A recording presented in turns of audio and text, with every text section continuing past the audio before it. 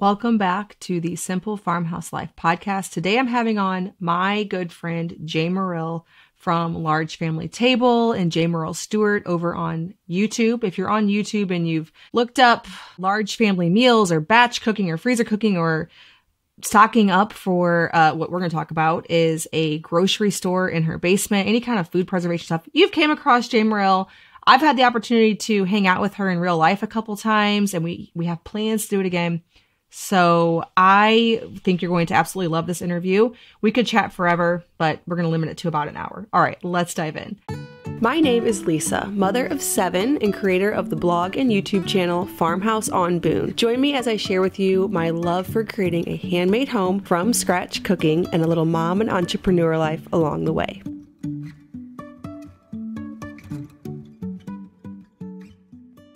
Welcome, Jamerrill. So, Jamerrill has been on the podcast before, and she and I have had the opportunity a couple of times to meet in real life, which is amazing. So today for this topic, there's a lot of topics that Jamerrill and I could talk about, to be honest. Business mom stuff would probably be one of like the funnest thing for us to talk about. but I think we're going to talk about bulk cooking, which is what your focus on your channel is mostly about on your YouTube channel and the grocery store down in your basement, which is very impressive. So let's start with introductions. For those who don't know you, tell us about you, your family, your YouTube channel, all that good stuff. Yes. Well, thank you, Lisa. Like I say, I just want to talk about all the things. So, my name is Jamerrill. I am a mom of nine. My husband and I are going to have our 25th anniversary this summer. We have nine children, ages two through almost 23. So, I've done it. I've launched two. Mm-hmm. And in about a year and a half, I'm going to launch my third. They just then start launching. so mm-hmm. I don't have a newborn at this time, but I do have children pretty much in every phase of life. I'm also a Grammy. What my oldest son has been married almost four years, and I have a grandbaby. I mean, right? It's just life marches on. So it's our 18th year of homeschooling, and all of this requires a lot of food, Lisa. Yes, having all these people at home all day, mm-hmm. every day. so as far as finding me, everyone can find me by my name at YouTube. Uh, super easy just to go to largefamilytable.com to right. find me. Yeah. I've been on these internet streets for over a decade. Yeah. So. Yeah, yeah, over a decade.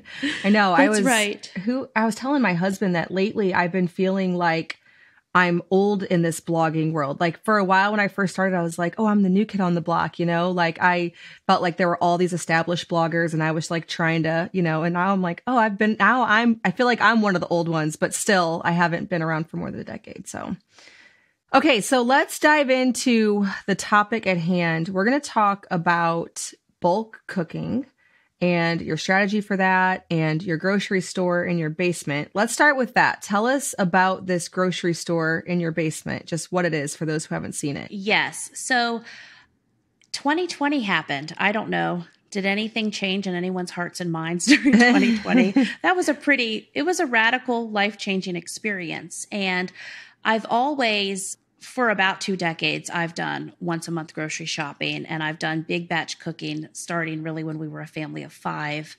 And I've, I'll try to have, like when we're done with four weeks of groceries, there's still enough there to get through a week or two if we had to.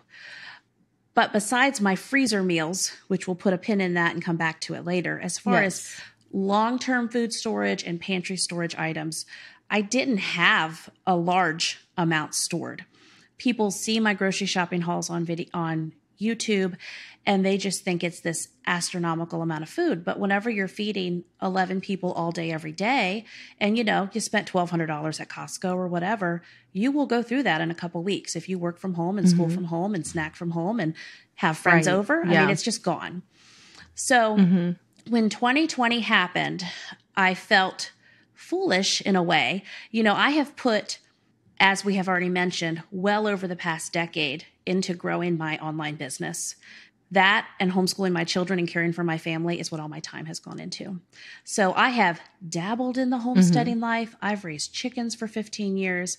I butchered my first chickens barefoot and pregnant with my fifth child because I had mean roosters and I wanted to know I could do it. Like I, I grew up with food insecurity. And so that is also in the back there. I just want to know I can feed my family. I can butcher a mean rooster. I can do whatever it takes to feed us, right? So when 2020 hit, I thought, mm-hmm. oh, I, as if there really are 48 hours in a day, I really should have been doing more homesteading, more food preservation. I feel foolish for only having a 25 pound bag of oatmeal because now I can't get oatmeal. I feel foolish for not knowing how to milk a cow or milk a goat because we're limited at the grocery store. I could only buy one gallon every time. Now we're a gallon a day family. And mm-hmm. even 15 years ago, 12 years ago, once a month grocery shopping, I still bought 15 gallons at a time because I froze half and I had the other half in my second refrigerator that I had at the time. And uh, I tried to stay ahead on our milk because we go through a lot. So again, in right. 2020, we didn't even have the milk we needed. So all of us were at home. All of us had any possible activity that was coming up canceled. And we had just moved to a new property where, for the first time ever, I actually had room for food storage. You don't have to have a basement, and we can get into strategies for stocking up without a lot of storage room. But I actually had one. you know, I had a basement right. and I had this other cinder block room in there that I could store food in. And I just got busy putting that time into this whole other avenue that I wanted to explore, but I didn't have the time to before. And we did mm-hmm. it as a family. So we bought a, a La Mancha dairy goat that gave a gallon a day. We learned how to milk a goat. We got a gallon a day from her for nine months. We froze milk. We did some cheese. I did some dairy goat milk things with her, but that was our milk source during that time because I thought, you know what, if I spend $400 on a goat, that's I'm going to spend even if I could have bought milk at the store. I I knew I would be saving money at some point. Mm-hmm. And I just got about the business of learning what I needed to know, taking a crash course in long term food storage and also building out a pantry. So I got a couple books. I got a book by my friend Karen Morris called A Year Without the Grocery Store. And it's phenomenal mm-hmm. for anyone who wants to get started. And then I got another book called Prepper Pantry. I believe it's by Daisy Luther. I just went on Amazon and I got some food storage type books. They were small, they're easy mm-hmm. to read. Karen even has the audiobook that you can listen to, I think, in like three or four hours. And I've had her as a guest over in my membership many times over the years, and she's mm-hmm. just a wealth of knowledge. So I followed Karen's system for doing food storage buckets. So as I was able to, I would get my oatmeal, I would get larger bags of sugar, larger bags of salt.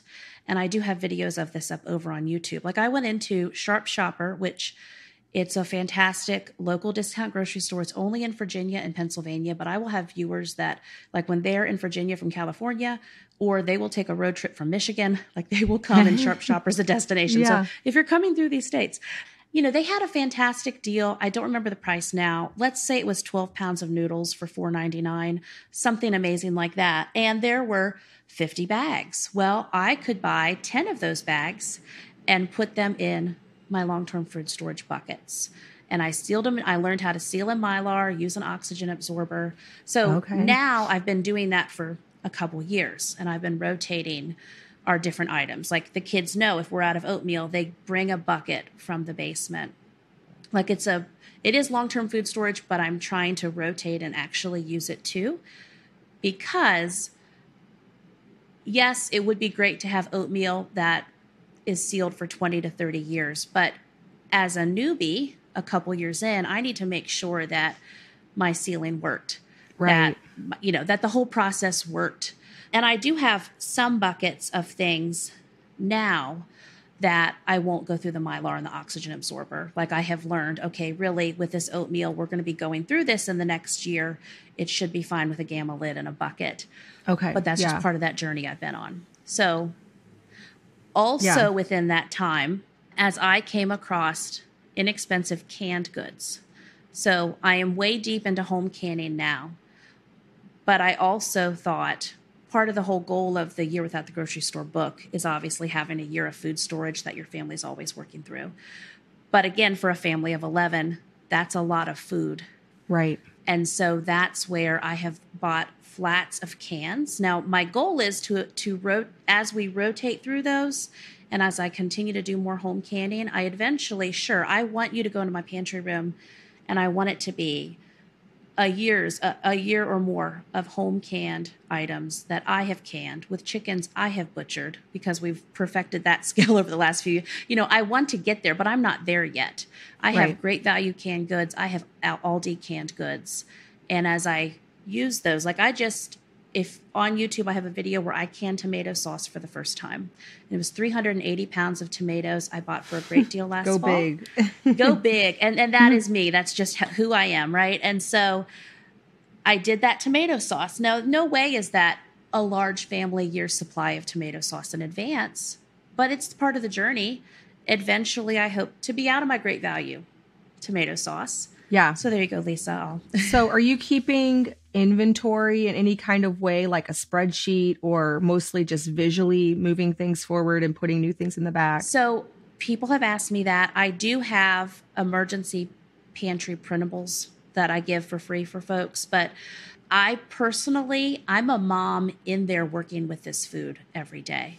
Right. You know, I'm planning our meals, I'm planning my big cooking, I'm filming different things. I'm, you know, making a, a list like i'll have a, a, whiteboard or a list on my phone of, of things that we need to add on to.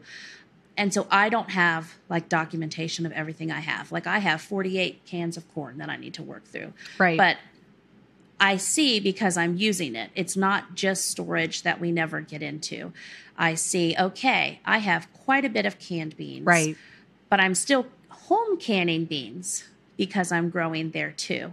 And i mix and match and that's another topic. As I grow in my home canning skills, I am using those items too. And some viewers have said, well, no, no, wait, wait, why are you using those? Well, I have to use them to see how to work with them. You know, working with home canned ground beef is different than whenever you cook your ground beef and you drain your fat. You know, there's certain things like I can do sloppy joes with that. You know, I can do sauces with that, but I can't do meatballs with it or meatloaf, right? so I'm using those items to get them into my mama workflow in my kitchen too. Right. Yeah. I want to take a break from this episode to tell you about today's podcast sponsor, Carly Jean Los Angeles. Carly Jean is a mom of four based out in LA who has curated beautiful capsule wardrobe collections on her website, carlyjeanlosangeles.com. I love that the clothes fit in all different seasons of life. So I wear her items through pregnancy, postpartum. I just pick and choose the things that I feel like will work for me. For example, like not right now because it's super hot out, but there are these long cardigans that are lightweight. So I guess it's really not a cardigan. But I like it because it turns any outfit into something just a little bit better. But I can wear it whether I'm pregnant, whether I'm nursing, and it's quality. So it's stuff that lasts. I have a few pairs of jeans from Carly Jean that I've enjoyed for a really long time, a few staple dresses, staple tanks. They have these basics that are made right here in the US. I love curating my closet so that I can go to it and quickly see something easy to wear. I spend very little time getting ready in the morning, and so it's really important for me to have this minimal curated wardrobe that I can quickly pull from and look put together as a busy mom. Carly Jean is offering Simple Farmhouse Life listeners 20% off your first order with the code FARMHOUSE. So you can head over to carlyjeanlosangeles.com use the code farmhouse. It's a one-time discount code but it, it does apply to the whole order. So go check out their basics. Go check out any of their new dresses. I have a bunch that i'm really excited to wear all summer. Again carlyjeanlosangeles.com use the code farmhouse. Okay tell us more about these mylar bags. I i have them on a small scale for my freeze dryer I'm assuming based on you saying something about oatmeal that you have larger ones or where are you getting those and how do those work? So I have the small ones for my freeze dryer as well. And uh, on Amazon, you know, you can go on and you can buy, like when you're out of all your Harvest Right ones, you can buy the small ones on Amazon and you can buy one gallon mylar, three gallon mylar, five gallon mylar bags. And so okay. I will have a five gallon bucket and I will have, I'm guessing, I'm not looking at it. So it's either three to five gallon or so, a larger mylar bag. And I can usually get 20 to 25 pounds of most dry good items in a bucket. And so I pour it in. And then what is it I have? Well, you know, with the freeze dryer, you get that Harvest Right sealer that comes. Sealer. Mm-hmm. But yep. before yep. that, what people used for the mylar was like a well. Bef- originally, the first time I heard it, people would take a board and they would take a clothes iron and they would fold the mylar over the top and they would iron oh. the mylar to seal it once they put the marks the oxygen absorber in. Yeah. So you do that on YouTube once or twice, and then you learn, no, Jamerrill, what you really need is a hair straightener. So I learned so much from my viewers. Oh, that too. makes a lot more so sense. So then I then uh-huh. I got a uh-huh. hair straightener. But in Karen's book, she taught, you know, the board and the iron method. Uh-huh. But then things are sealed. And some things like brown rice, uh, you know, because it can go rancid, really will only potentially be a few years. But things like white rice, if sealed properly, could be 20 or 30 years. So it's just nice to be storing things like I have beans and sugar and flour and different types of rice, basically all kinds of dry good pantry items that I do in five gallon buckets. I generally get my buckets from Lowe's okay. and the gamma lids, you couldn't get those hardly in 2020. Since then, I've stocked up on more mm, of those. Yeah, I love those. And then, like I said, though, mm-hmm. certain items that I know that we will be using in more recent times, I will not personally use the Mylar because I know we're going to be going through that sugar, you know, the organic cane sugar from Azure or whatever. And I'll just have some buckets there ready. Yeah. Well, how do you know how long something's going to last without the Mylar? Like, when do you decide if it's going to need that or not need that? I think about how long things last in my pantry. You know, back at in my farm, my hundred right. year old farmhouse, I would get the twenty five pound bag of oatmeal and I would break that into the gallon Ziploc bags because I, I didn't know about bucket storage then. I wish, you know, all the things you wish you would have known 10 or 15 mm-hmm. years ago. Um, and we would yeah. work through that usually sometimes within a month or within a couple months. I'm thinking through Lisa. I'm thinking through my my based on how I've seen pantry items last before. Right. Um, but I also I have had mice situations in different homes, mm-hmm. and at this house I have not. Now I also okay. have a lot of farm cats, but keeping yeah. things in mylar protects it from mice. But even the, these buckets, mice will chew through anything. But it does give you another layer of protection compared right. to it just being in its regular packaging. Right. Yeah. So are you pulling the oxygen out on anything? Like are you do you have a vacuum sealer for something? When I do because I want to grow in these skills, when I do the mylar bags, I and especially when I first started, I put an oxygen absorber in everything. Yes. Okay. And so so I have a good bit of those with oxygen absorbers. And then like I said, some more like black beans or whatever, some more recent things I'll keep without an oxygen absorber. So yeah yeah, I'm stocked up on pantry staples because I I want to have right. if we had an emergency. I mean, cough cough, I don't know. Will we ever have any of these kind of emergencies in our world? But what if we couldn't go to the grocery store for a year and I need to feed my family and probably some other people too? Right, right. So a lot of my buckets, especially the ones with oxygen absorbers and mylar, are stored with that thought in mind but I will take from those again, like I will grab an oatmeal from there, cut the mylar, make, just to make sure that it worked, you know, two right. or three years ago. Uh-huh. And then I know if I want to put up, put up, you know, 50 more pounds of oatmeal, I know that my process worked. I think I like the idea of doing that anyway. And then you have both. You have the convenience mm-hmm. of being able to go down to your basement whenever you need something. Like, oh, we're out of sugar. I imagine that doesn't happen in your house. You're never out of sugar or out of right. any of these staples that you might need to make something really quick. That's not something that you're going to experience. And and part of my my mental inventory is we had worked through a, a five gallon bucket, which was 25 pounds of azure sugar. And, uh, you know, especially during the holidays, it wasn't all at one time, but, you know, the bucket's here, it's under my island. We have a smaller little container in the kitchen we refill, but eventually that bucket goes. And especially when doing canning and stuff, canning, you know, strawberry jam, all that. Mm-hmm. And so just mental note to myself, okay, well, I'm down a 25 pound bucket of sugar.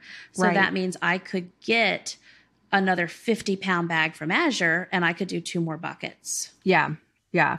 And just economically, you come across these good deals that are they're always better whenever they're in bulk but you think how could i possibly go through all of this when you're set up like this you can take advantage of the pound for pound savings of being able to just have it down in your basement so that's right yeah Let's talk about. Well, actually, I want to ask you one more thing. Where did sure? What sure. are what's your favorite source for the gamma lids? I know I get them from Azure Standard.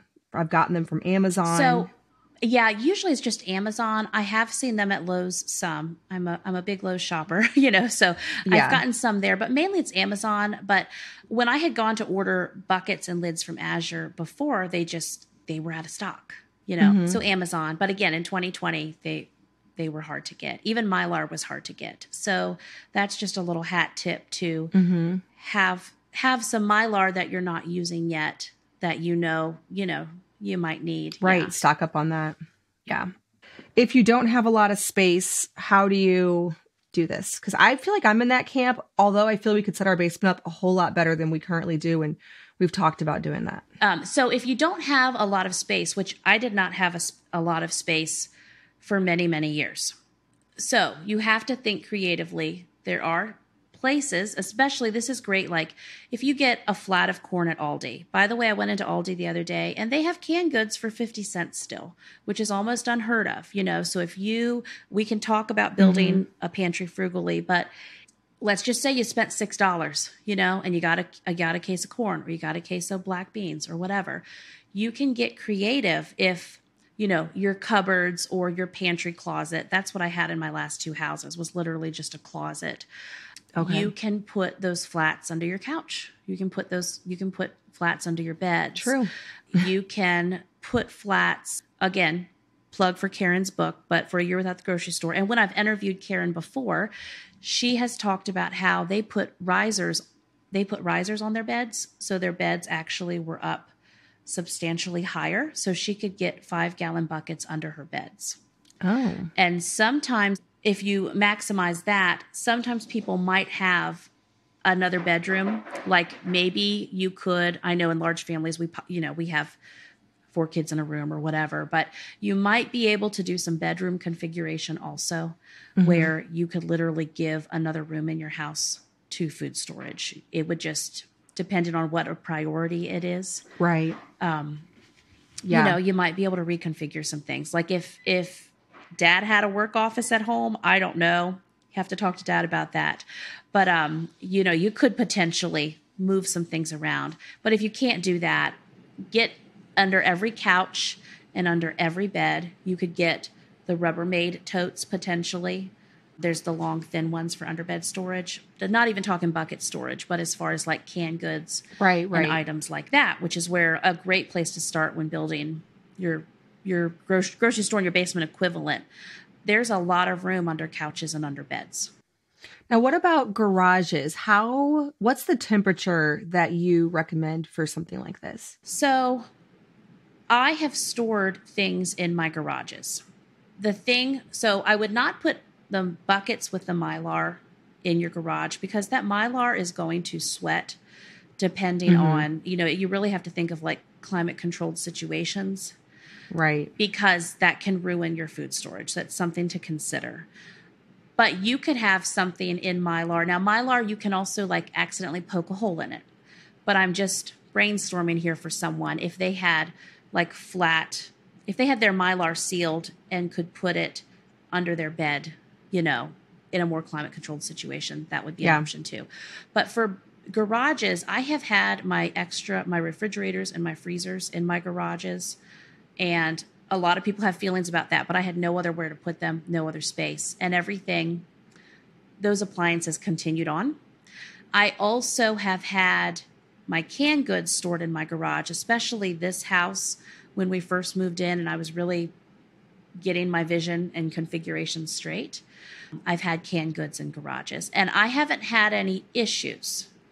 But okay. things like, you know, noodles in the bag they came in, flowers, and any of those pantry staples, you are going to get mice, you are going to have temperature issues.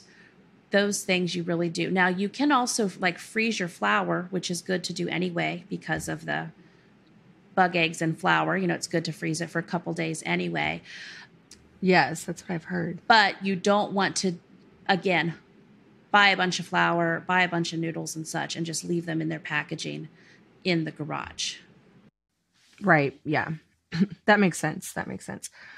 I actually, the other day, I on a whim, I had no plans of doing this, but we have this really large cabinet area in our kitchen and it was made as an office like that was the reason why we designed it we built it was to have like cameras and computers and all of the things like printers that go with running a home-based business and in the kitchen office and i had everything like it, it's more space than you need for just the office.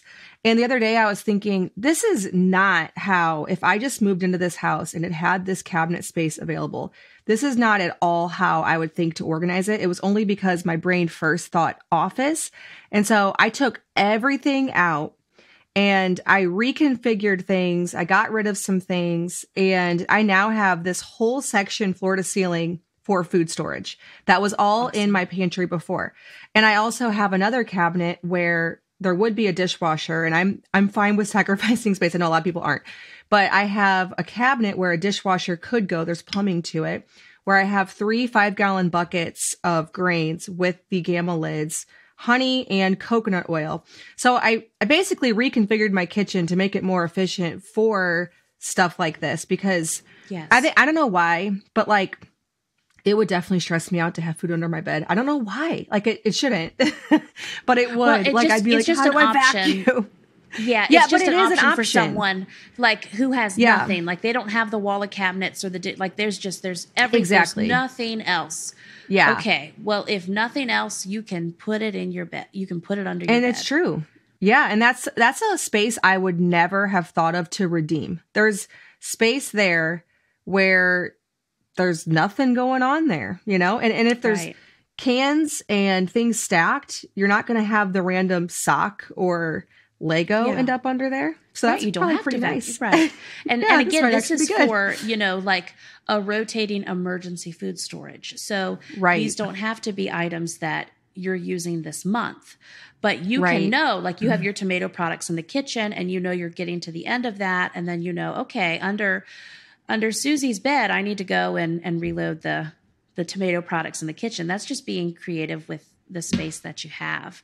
Uh, but even it like is, you were saying, yeah. with your wonderful built-in cabinets that you're using now, I mean, someone could do some sort of cabinetry in another room, right? Some kind of built-in right, right. or IKEA situation. That's just mm-hmm. how important our food storage is.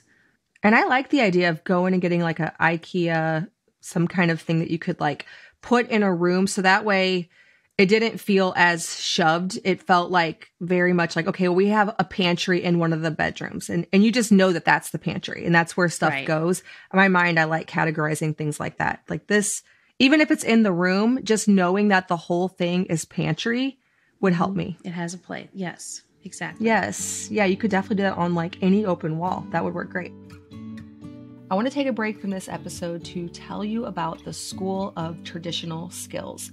The Homesteading family, you may have heard of them if you follow along with them over on YouTube, has a ton of knowledge to share through their YouTube channel, but they also created this amazing resource called the School of Traditional Skills, where they go to these experts' homes or farms and create professional videos sharing something that is a skill that is necessary for simple living, homesteading, from scratch cooking. Some examples are homestead planning, that's a new one they just added, pressure canning, reclaiming pasture, raising pastured meat chickens back to Eden gardening style. They did a class with me on fermenting vegetables.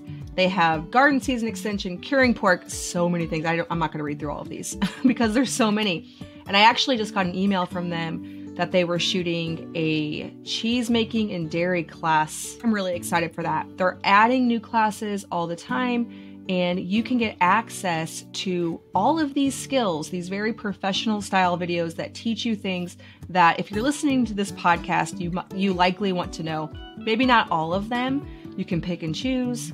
I've watched through some, some I feel like I already kind of know, some I feel like I'm not currently interested in knowing. Like cheese making, I'm just now interested in that. But for so long, I was more, I want to learn nourishing bone broth with Sally Fallon, and then moving on from there.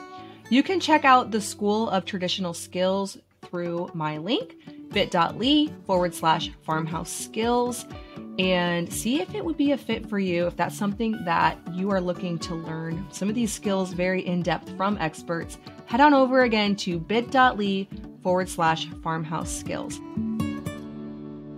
Okay, one of the top questions I got whenever I talked about this episode over on Instagram was bulk buying on a small budget. I'm sure that's probably like the number one question you get on your YouTube channel all the mm-hmm. time, just knowing YouTube commenters. Right, right. So, in what ways do you feel that this is affordable or if possible, like in what ways has this actually saved you money? So, bulk buying in a budget. I I hear from a lot of families who wait and and I know families like in real life in my town you know, in my local activities. And they wait until tax time every year. And they will take 500 to a $1,000 and they will, you know, whatever big amount to them and they have it dedicated to building their food storage. And so that's when they will get, you know, two or three of the large things of honey from Azure. They will get as much rice as they can. They put that money into their food storage where some people you know we all have different different things we use money for but sometimes it's a vacation or updating this or that and they just know number one priority is food storage. Something very simple that i think everyone can start with that i mentioned already is buying the canned goods at aldi. Uh, again 50 cents a can. Some things got up to 78 cents a can. But even home canning takes an investment and it takes work and practice on the front end. Although I don't think it's difficult, I think everyone should get into it.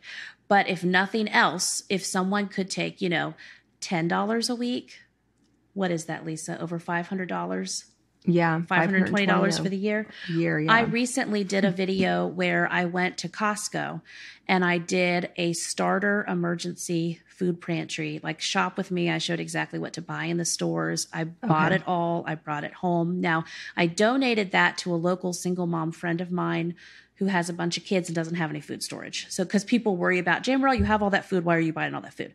So, I did the video to help show people if all like, you yeah, have is five hundred dollars. I think I came in a, li- a little under six hundred, but I also broke it down to where they could do this week by week. You know, $10 or $20 um, a week. Some people can only do $5 a week. But over a year, if you put that couple hundred dollars into your food storage, you will have a good food storage, excellent, especially compared to having nothing. Mm-hmm. Yeah. And so in that, I, you know, I showed about buying the rice in bulk, buying the beans in bulk, um, buying spices in bulk, getting your sugar in bulk. And because not everyone has an Azure delivery. I did not have Azure close to my house until like within the last 6 months or so. Oh. Before that my deliveries were 45 minutes away. And that and a year ago there was no Azure anywhere in my part of the state. So Okay. Azure's great for those of us who have it, but if someone doesn't, you know, and so they may not have a Costco. Of course, well, do they mm-hmm. have a mm-hmm. Sam's? But I think people could go to Walmart and I, right. I do plan to do that video later this summer where I'm going to go to Walmart and for a few hundred dollars do a whole emergency pantry and I'll give it to another mom. But it's just showing even those great value products. Yeah. Oh, yeah. They will not, they're not the best, right? But especially whenever you read the, uh, may contain bio engineered. read your labels, right? Try to yeah. get the best that you can for your budget. But if all you had was a small budget and you could spend $10 a week at Walmart, that'll be over $500 in a year. And if you dog ear that $10 just for building your pantry, and then from there, you could start rotating those items and replacing them. Right. Yeah. Yeah. I like that. The other day, my daughter asked me, like, we're running this hypothetical scenario. If if we couldn't go to the grocery store for a year, what are the first things we'd buy? And my my first instinct as a homestead person went to like animal feed because I'm like, well, if we have enough hay Yes. and chicken feed, we can live off of milk and eggs. But I didn't really consider all of the inside pantry stuff that would be appropriate for that. So, what would your answer for that? Like, what would be the top 10 things you would stock up on if you were just starting out on this? So, so let me see if I can count. So I would do rice, of course, beans. You know, you do black beans, pinto Mhm. beans. I mean, we've had times we've pretty much, I feel like I can do pinto beans a lot of different ways, you know, peanut butter, jelly. Of course, we can do home canned jelly, but again, we're saying we're just trying to stock up at the right. store. Yes. Um, sugar, we would do spices. Oats. I, maybe? I also, yeah, oats. I also got things in that emergency haul like pancake mix that was ready to go with just water. Um, Okay. Thinking of an emergency. Something I have read that's good for kids. You know, if you are in an emergency situation, uh, trying to have the the little things that would be joy. So even a thing like again at Costco, the lemonade mix. Okay, don't drink it all day every day. But if all you had was water, and things were limited, and you could throw some of that lemonade mix or something, some kind of flavoring.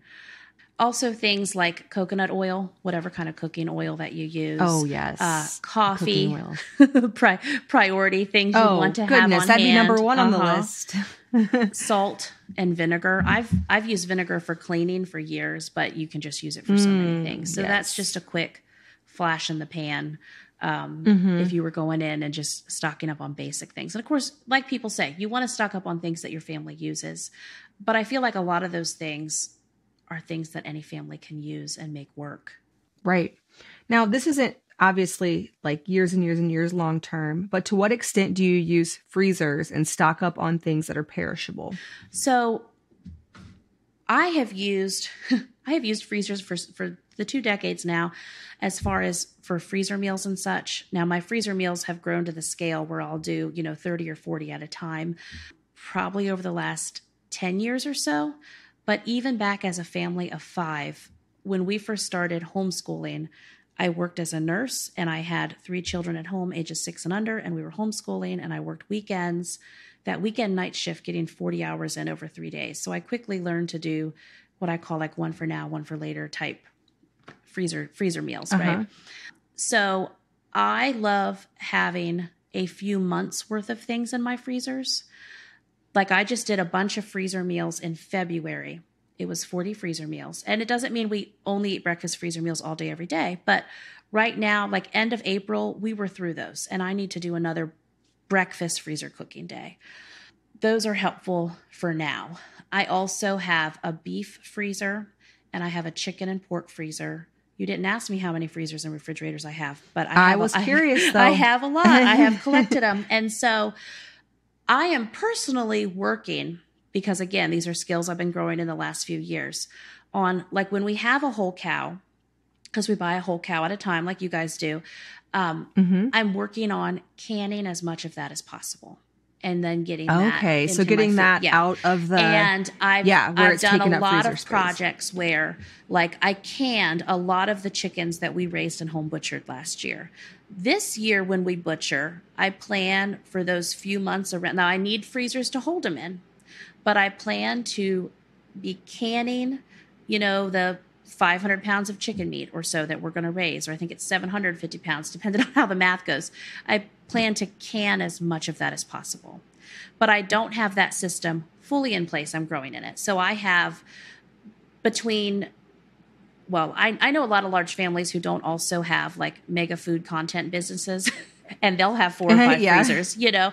But I do, I do a lot of filming, and I, but I also, and I feed a lot of people, and I do a lot of recipe development. So like I have Right. a veggie and fruit freezer, but a lot of regular large family moms do too. And I have um, a freezer dedicated to my freezer meals. But the the high end, you know, the things that are the most Yeah. valuable, which is the meat.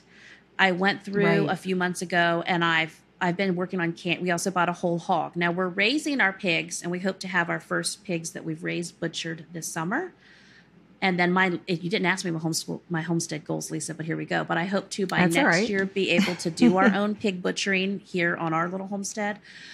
But in the meantime, we're going to take these and have them butchered. But I I plan to just continue that meat that is very valuable to get that canned and use it that way. Okay. And then weird YouTube Yeah. life is going to happen where I don't know, maybe I need to do a meatball recipe for something that I'm showing. I might have to go buy some more ground beef, but that's kind of If a you si- can. yeah, ki- that's kind of a side note. Yeah. So, so I think freezer storage is great. yeah. And all things being perfect, I like to have my freezers. You know, the, the veggie one full, the beef one full, the pork and chicken one full. I like them all to be full. Right. But I am working on canning as much as possible of that. Yeah.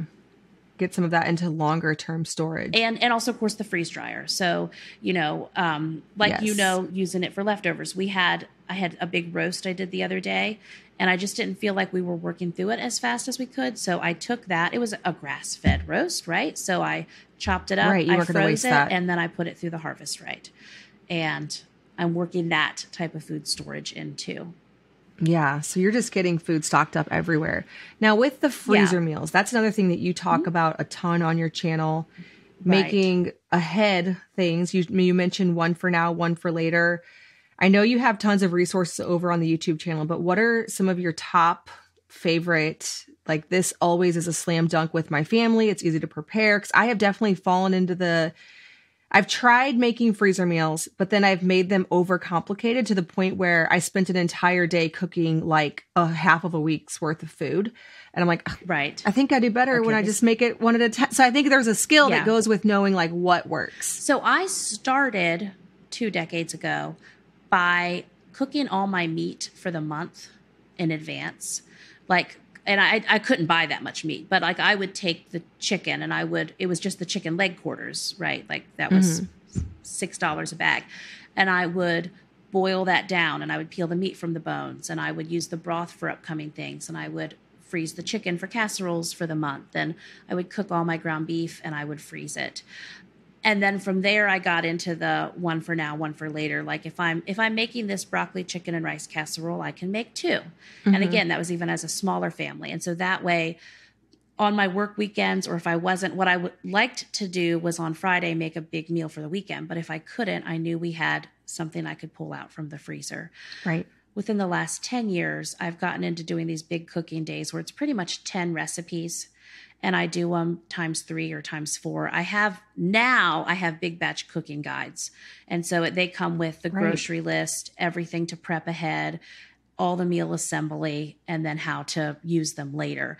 And Right, so yes. it'll be 40 meals. Yes, it's only 10 recipes. And internet comments will say, well, how can you eat the same thing all the time? Well, you know, 40 meals spread out over 12 Yes. weeks. You know, we're we're not eating the same thing all the time. And I even um I took a day maybe in November and this this will be coming out in a big batch cooking pack, but I did a day where I just was inspired to do all this lasagna and all this baked ziti and just all these like meals I knew we would not be sad to have in the freezer. And we had a huge, Right, yes. like life changing emergency in December. And that was just an example of six weeks mama mama can't cook and do nothing now of course yes my husband Right. could cook the kids are old enough they could figure it out Yes, of course but it was can. so nice but for them to just like i wasn't here i was with Right. family in another situation and so they were Uh-huh. able to just pull things out and my 16 year old daughter rotated freezer meals like i was gone for eight days straight and she Mhm. was able to feed the family without any other worry or pressure on them with Yeah. those meals that I had stocked, which happened to be a lot of those meals I did, a lot of the baked ziti meals at that time. You know, it changes. And right now I have a lot of slow cooker freezer meals in my freezer. And let's see, days of the week. Last Saturday, I had my 12 year old, 13 year old, 16 year old. We did a, a couple hours of doing 40 like lunch specific type freezer meals, like taquitos and homemade pop tarts and you know things that I have in that particular big batch cooking guide. It's Uh-huh. helpful for me. I do cook my own guides because, oh, past Jamerrill, the grocery list is already there. you know, the steps are already Oh, there. exactly. I I go on my blog nonstop. There's always things I'm like. That's what I love about having a blog. Is like, you oh, have this is like how I did all the things you've ever yeah like Right. thought through before. There's a nice record of it because you forget over the time. Like what what do I like? I don't know. Let me look at my meal pack. I know. I said I love this. Um, my some of my first videos that started taking off on YouTube, you know, nine years ago, were me doing freezer cooking and like planning it out on my whiteboard. So I took Mhm. that system that I used, and I've replicated it again and again to doing these big batch cooking guides now. But I also, because I do like to cook, just not every day, not all day, every day, but you know, I'll want to cook. And so I'll Right. get out the Yeah. 17 inch cast iron large skillet or two of them, and I'll do a big bulk meal. But when I cook, I want I want to not have to cook for a few days. And so I don't mind eating the same thing or serving it up in different ways. Like I will I will make 10 pounds of sloppy joes and I think I will think, okay, there's dinners and lunches and my kids rip through it and it's not. you know, I'll Yeah. think I've cooked ahead and it's not. And even though I'm like, no, have some watermelon with that, you know, let's let's add some Let's let's like extend yeah this. so i try to um do that and again when we were a smaller family you know i would i i just feel like it would stretch a little farther sometimes but so i mix that in with the freezer meals and i can tell when i don't have freezer meals and it's so funny just how how I am and how we all can be in our head sometimes. I'm like, well, I don't want to defrost the slow cooker freezer meal. I really wish I had a nine by thirteen that I could just defrost. Sometimes it just seems easier to turn on the oven instead of plugging in the slow cooker. I don't know, but Uh-huh. that's why I like a variety. yeah. I like the variety. You know, I like knowing that my freezer meal freezer is stocked with things that can go in All the, the oven, things that can go in the slow cooker or the instant pot, um, things that can be defrosted and the kids can microwave. So, like Mhm. right now, you know, they are all into the taquitos because we made them last weekend. And I'm like, we made so many of those, but Yeah. they might be gone in a week. it's not it's not Yeah. seem like much soon. That's Yeah. right. So do you ever just make a meal like you make dinner and then like you eat it all and then you clean up and that's literally it? Or are you always making more for your own? I for try to meal? never do that. I try to never do that. Even, Oh, I must spend way too much time in the kitchen. I probably do I I hardly ever have enough to move to the next meal. Right. So that's my goal. Now, yes, it does happen that things may not go as planned. Again, like we went to the beach the other week. But you're not planning on doing that. I'm not planning on doing that. I'm always planning to at least get lunch the next day out of it. Right. You know, at, at least four servings. Okay, not 11 servings. Yes. So I'm always trying to cook enough to get more mileage out of it. And we we could like it could be a meal. It uh, it could be, you know, big batch biscuits and gravy. And we have it for breakfast. Well, we're not going to have that you know, for the next nine meals. But that could be the next three mornings of breakfast as an option for most people. Obviously, hey kid, if you don't want biscuits and gravy, you know where the bagels are. You know, you know, you know, you, you know where other Mhm. items are that you can grab.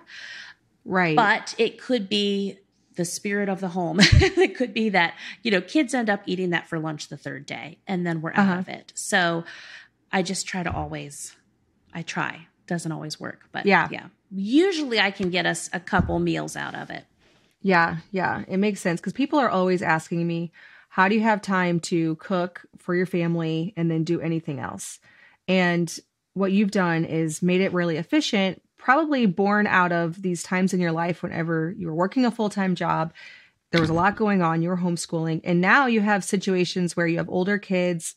It, sometimes things happen and you know you couldn't be available all of December and then your family ate, which is amazing because Right. if I did that, my family would have to just like figure out something. And I mean, they could, Right. but it's And they not, could and you they feel would, good but- leaving knowing that. Right. It was one less thing I had to worry about. I um, ended up in the hospital a couple times in 2021 between my pregnancy and a situation with my kidney, traumatic birth, E. coli infection, like all these things. Oh, yeah. And so, and I had a surgery. And so, um, and I think like my house, I, I think I was in the hospital once 2022, right before we, we met Lisa in, in real life. Mhm. But not all of those Yes. were planned or scheduled. Only one of those things Right, were Uh, scheduled. And so at one point when I was in the hospital, I just had to put in a Walmart grocery order with easy Walmart, you know, Walmart freezer meals. Yeah, Uh, yeah. You know, things that I would make on my freezer cooking days because I had been so sick in pregnancy. I wasn't able to get as ahead on my freezer meals as I had per the YouTube video evidence during my other pregnancies.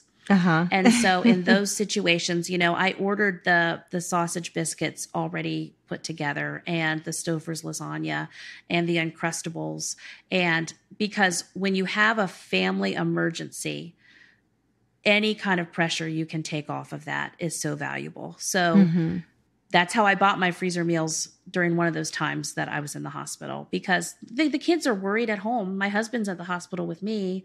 My Right. mom's here with kids. You know, maybe they had a six month old baby here too. Uh, just, just saying. So if I can stay on top of that, that's helpful with life. Yeah.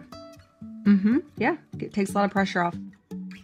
Want to take a break from this episode to tell you about one of our awesome sponsors, Toups and Co. That's T O U P S and Co. I've had a few questions about that lately. Like, what are you saying again?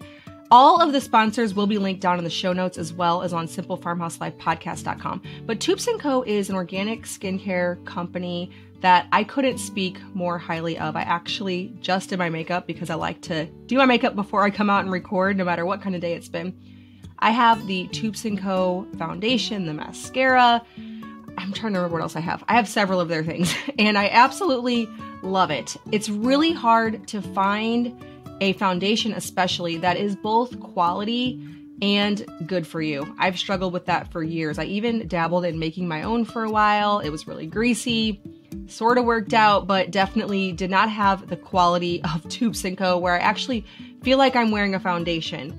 I also really love their skincare products. So I love their cleansing oil. They have this tallow balm that, especially in the winter, I'm starting to not need it as much. I would go to my little tallow balm container five times a day. I just left it out on my bathroom where I pass by often and put it on my face all throughout the day. Now that it's not as dry because we're not running the wood stove, I'm able to do it like once a day and I'm totally fine. But such a luxurious balm that moisturizes the face, but then it also has all natural and organic ingredients, which is really hard to find quality and something that works. Toups & Co. is offering Simple Farmhouse Life listeners a 10% off discount by using the code FARMHOUSE. So head over to toupsandco.com, use the code FARMHOUSE to save 10%. I know that you're going to absolutely love their products. A little goes a long way. I haven't had to replace them for a while. I'm, I'm almost ready to replace the foundation. And I do a different shade from winter to summer. So I'm in that transition phase of like, I almost need a slight shade darker, which is a good time to get a new foundation. But I know that you are going to absolutely love it. Again, toupsandco.com, use the code FARMHOUSE.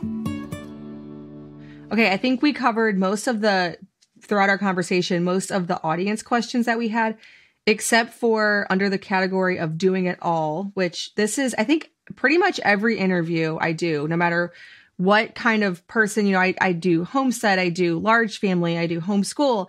And this is always one of the topics with questions under it is doing it all. So we'll just do that shortly here because mm-hmm. people just, they need encouragement. Yes. So, the first one says, I would love to know what she would recommend to a mama who would love to start a business but worries it would cause more stress than it's worth. And we have a lot along those lines. Like, you know, you and I talk about this all the time. we live this, yes. Yeah, yeah, we do. So I started my business out of, well, I had a $250 grocery budget. I was trying to not work weekends as a nurse anymore because I was having times, you know, we always want the Lord to guide us. And so I was having these times where Monday morning at like 9 a.m., I was the charge nurse from 7 p.m. to 7 a.m., but you don't always get out at 7 a.m. And I had just worked three 12 hour shifts. I would wake up while driving on the way home. And I had some Wow. very, very scary, like, I'm driving, I'm trying, you know, I'm trying to get home to my baby, I'm breastfeeding, and I wake up. This could get emotional. I wake up like heading for the mailboxes, and right behind the mailboxes is a pond, and there's another car coming. And mm-hmm. all I had time to do was scream Jesus. And like I was asleep while driving. That was so yeah. scary. And I had a few other things. Like at one point, you know, my boys flipped a dresser over, you know, and I was like half asleep because I'd worked a long nursing shift. And like somehow the dresser in their room, they were playing around, the dresser fell over, but it was loud. Someone could have got hurt. Yeah. And so, and again, they're both adults now. They made it. I homeschooled yes, the whole yes. way. They're functioning. One's a dad, yeah. you know, but those were some of my mama wake up moments. Like, I can't do this. I can't do all these things. I can't homeschool these kids, breastfeed my baby, work 100 hours on the weekend. I have to I have to pick and choose. This does get into mamas and online businesses. So I had laid that down, but that gave me that very small grocery budget. And I said 250 it was 250 to 350 a month. And at the height of that, I was pregnant with baby number 6 and so my other kids were two, three, six, nine, and 12, and pregnant with baby number 6 And mm-hmm. I had mm-hmm. that small grocery budget. Right. And yeah. my, I had been blogging as a hobby, and this is 2011. I had mm-hmm. been blogging as a hobby. I had really started my blog in 2018, but like I felt the Lord prompt me to get up every day and blog before the kids. And my first blog was very much a homeschool mom encouragement blog. So every yeah. morning I got up and I wrote this little article to encourage homeschool moms. Um, but within a year of that, I realized I was putting 15 to 20 hours a week into that hobby and it was taking up a lot of mental space, a lot of heart space, and I was just trying to be sensitive to the Lord. And I also knew I wanted to buy more fruits and vegetables. Now you can make that small grocery budget work if you're home and that's all and that's what you're doing, right? Mm-hmm. Yeah. And so my prayer began to be for the Lord to show me if I should lay down this hobby of blogging and just pick up one like 3 to 11 shift as a nurse on the weekend or could I somehow make my grocery budget through my blog? And thus, within a few months, I just was guided in a, a whole other thing. And I'm not a unicorn. You and I both know any mom can do this. You have a whole course on it.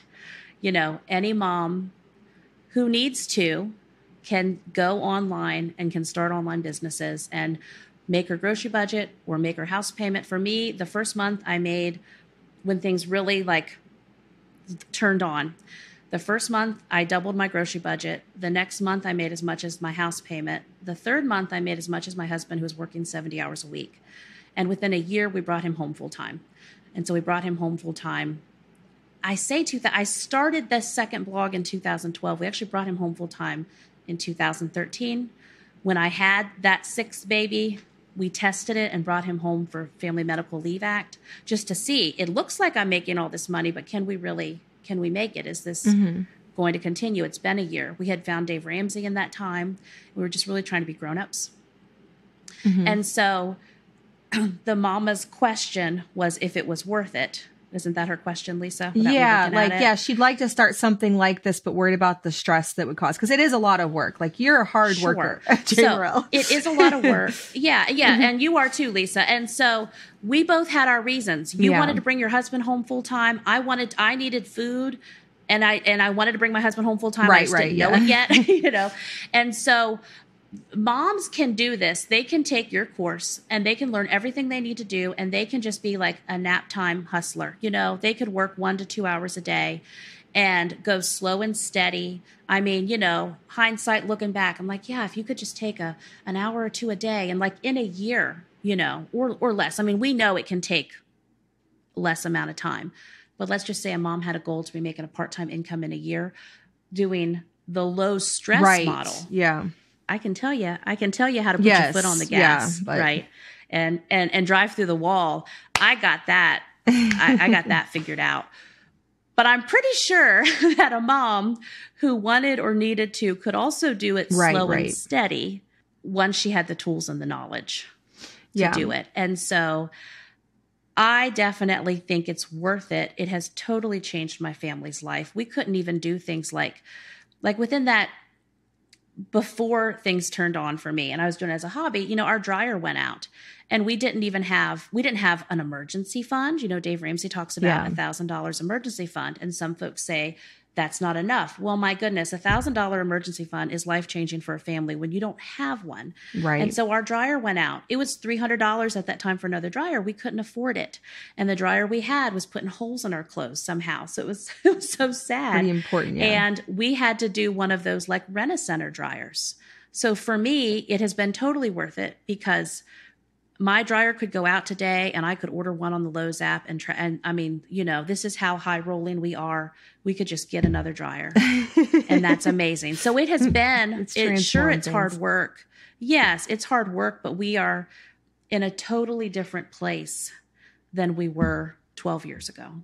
yeah there's there's so much guilt associated with pursuing something whenever you are a mom and like you mentioned there are times to do it that don't i mean if you don't put the foot fully on the gas like you were saying and you and i we've had this conversation in real life a ton. There are a lot of boundaries you've put in place. Like somebody asks well how do you fit homeschool in and run a business? You've told me how your schedule works and it involves you being a mom you know for most of your kids' waking hours, which is Yes. very inspirational because I think that we, especially in the beginning, before you've figured out how to turn it into a real business where you've hired people to help you and there's, you know, a lot of moving parts. We've scaled. yeah, it is all you. And so it's so hard to see. Like, I've heard people say, well, there's no possible way you're able to do this and still be a good mom. And I'm like, you have, you don't know what all goes on in the way that I schedule my time. Mhm. And I know the way that you've scheduled your time is you're just a, a homeschool mom most of the time. And then I don't know, Yeah. you've shifted through different schedules throughout the years, but currently I think you're just filming one day a week or something like that. I forget how you said you currently have it. Yeah, yeah. So I usually, yeah, I usually have like one dedicated filming day that I do my my biggest video. And then I'll have another video that I like I'm doing little snippets, but if I'm just showing what I put on the plates for dinner, that doesn't take anything from my family. Yeah. But right. if I'm canning 380 pounds of tomatoes or if I'm doing 40 freezer meals, that's going to be an all day project. Yes. you know, to say the least. yeah, Definitely. figured out kitchen for that. Um, and some of y'all know, you know, from my videos, I'm I've had a few times this winter where I just stayed up all night and I got it done. I don't do that every day. Now, part of that is my work, right? Because I'm a content creator and I'm making this video and I have to get this done basically on this Saturday, even if it takes the 420 the full 24 hours. And I don't do that often, Yeah. but once in a while, that's I guess these days how I'm I'm reckless or whatever, how I push through. But it's only that one day. My goal is Sunday through Thursday or Friday, I'm all on Regular mom. full on mom, Yep. full on mom. And over the years, like people might say, oh, you have 14 people who work for you. Well, I started, I had almost two years of just myself. And so I can say how I did it then with my husband working Yeah, 70 exactly, I- and yeah. I will. I'll say We all that have that background. Help me get back to that. But, you know, I know what it's like to work for two years with no help and my husband being gone all the time. And I did that to build my business. Now I have scaled it and I hire out everything that does not have to have my face on it, which most of the things Right. that make money in my business have my face on it. Yes. You know, videos and sponsorships and live events and those kind of things. But there's a whole workload behind that that I oh I yeah, that's just the can hire out. yeah. Um, and that's how I that's how I'm still in this 12 years later. I have not always Yes. had it where I can just be a full-on mom 5 to 6 days a week. And I say the 5 days because there might be a week like we went to the beach a few weeks ago. Well, when I came back, I filmed Friday and Saturday to get to get myself caught up. But again, compared to working 40 plus hours a week as a as a charge nurse on the weekends, um, poor me if I have to work two hours, it's okay. I'm not two hours. Two hours is even better. two days.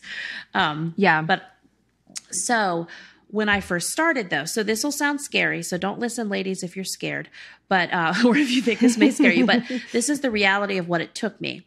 So I worked in the mornings, early mornings, like you know, 6 a.m. to 8 a.m. or so. You know, I'd work those early morning hours. I had kids. I think my oldest at the time was 12. So basically, kids would need to like get up and watch TV until I came downstairs, type thing. Um, and we would have our morning. So morning could be like 8 to 12, 9 to 12, whatever we want to call the morning. I'm on very little sleep, but we'll get to the school, the sleep part. About 12 or 1 ish when I could put my youngest ones down for a nap. Now, I have always had young kids that have taken excellent naps, like two or three hour naps, no problem. Mm-hmm. Part of that is I have lived a thousand hours outside this whole time before it was a thing. We are Okay. always big outside people. We get outside heavy and, you know, play and farm and hold the goat and we work hard. Even my young kids, like I'm making sure they're playing and I'm making sure they're sleeping well. Mm-hmm. So then during their nap time, I would work again. And of course, older kids would have things Right. that they could work on during that time. And so then from like three to seven, I would be full on mom again. So I had pockets of mom time, like eight to noon, three to seven. And then at seven, because my husband would be home, or uh, think of our schedule there for part of that. No, he would be going to work. So at seven, I would start working again. I could work at the kitchen table for those Uh-huh. first couple hours until I got kids to bed. Right. And then I would work until 11 or 12 and be back up at six working. But just for a season, you know, that's the thing is Yes. that's exactly that sounds like the early parts of my business, but you could I could never run like that for very long. It was always just like this is very short term. This is why we, you know, we didn't know the full plan, but I did have money coming out of the internet, which was a great incentive. You know, I could mm-hmm. buy fruits and vegetables. So that's the encouragement I needed. And then obviously within a year, it became apparent something had to happen. And so that is where we started the process of bringing my husband home full time. So it was probably, you know, a year to a year and a half that I was running like that. And also on the weekends. So I could work 60 to 70 hours a week. I took no time off, definitely during that first year. And I just worked like a mad woman all the time. So yeah. Yeah. Yeah. But people don't have to do that method, but Yeah. that's what I did. yeah. And you know, some and then from there, I started hiring help and right. trying to get myself out of that hole. Then the next couple years became, let's get myself out of what I've of this hole, but let's let the money not stop, please. and then I had to learn and scale from there. Yes, yes, that's all part of the part of the process and it's daunting whenever like if I were to think okay, I'm going to do this all over again, I don't I don't know because it would just I've already done it and now I'm like, man, that sounds exhausting, but at the time it felt like very fun, you know, because it was a new thing Yes. that I was trying to it was achieve. exciting. Yeah. Yes. Yeah. Like there this look at this. I am making more than my husband. And uh and again we had found Dave Ramsey and I had I also had $70,000 in student loan debt. And so I had just figured in my early 30s. I mean those those babies were just they were deferred. you know, that was Right. deferred. I was never going to be able to pay that uh being a large and growing family and just on my husband's income. And so for the first time I had hope. Now my my hope is in the Lord and I was in a total totally fine mindset to be home, to stretch every penny, to focus on my children and homeschool them. And that's how it would always be and things would never change. And so my heart and mindset are still those things, only financially which has been, you know, very obvious, a very important thing to me. We've been able to do wild things like pay off all of my student loan debt. Like, hey, mom's Mhm. not in Yeah. student loan debt anymore. And I actually know about these things to teach my own children so they don't have student loan debt. But growing Yeah. up in public school, you know, the whole drill was you got to get a degree, you got to get a degree, you got to go to college or you're nothing. And as a young adult, I felt that way. I felt like I was worthless unless I had a college degree. That's what public school did for me. So I I jumped out and started seeking that full force. And obviously Yeah. the Lord guided me down different paths along the way and changed my mindset and my heart. But still at 30, I was there with all that debt from that journey I had to go on. Right, right. Yeah. Uh, yep.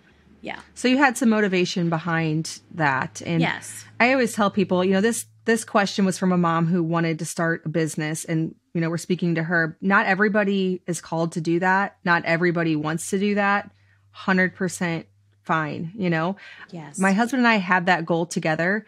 We both knew that we wanted to start some kind of family business and so it looked like him working while I pursued that during early mornings, afternoons, and late nights. And then over time, I built it in a lot of the similar ways that you did.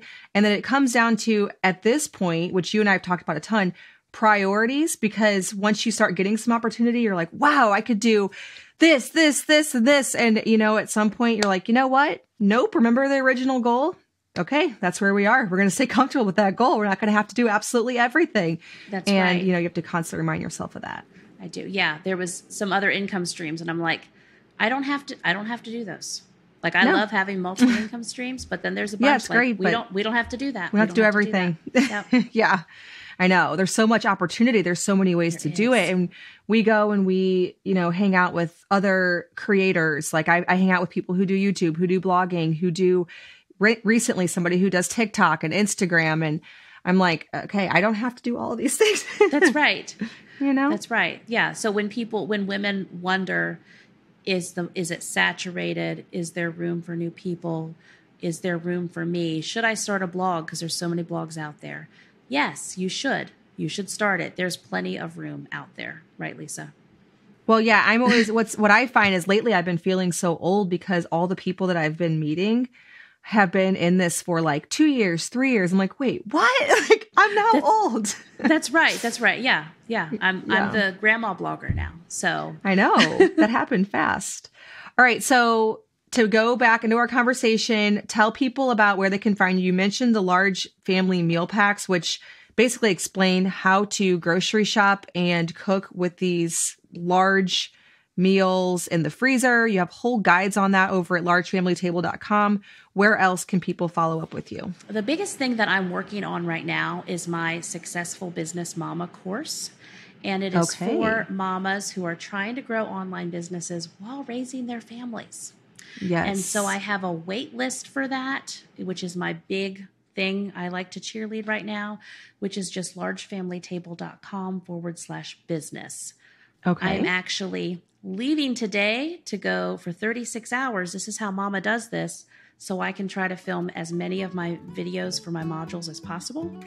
Okay. Just knock it out. I'm I'm hoping that this that we're launching this like in June. That's my goal. I have to have that goal ahead of me. So that's coming. So any moms who are interested for my systems on how I have done all this for 12 years and all the different ways I've made money because I've made money as a full-time blogger and through affiliates and through YouTube and through sponsorships and through digital products and all the things. So I'm going to Yeah. dive into all of that too.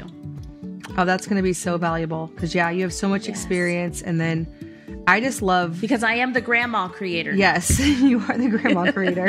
I know if I'm if I'm like a middle-aged creator, you're Yes, I'm the you're Grammy even creator. yeah, you're even further up there in that. The the o, the OG. Yes. yes, and it's been inspiring to talk to you about how all the different ways throughout the years that you've been able to do that while keeping your main priority as a mom the main thing, which is Mm-hmm. very inspiring to me because that's something that I can always learn from. Yes. Okay, well, thank you so Well, much. thank you, Lisa. All right. Well, thank you so much for listening to this episode of the Simple Farmhouse Life podcast. Make sure to go check out Jamerrill on all of the platforms that she mentioned, and I will see you in the next episode.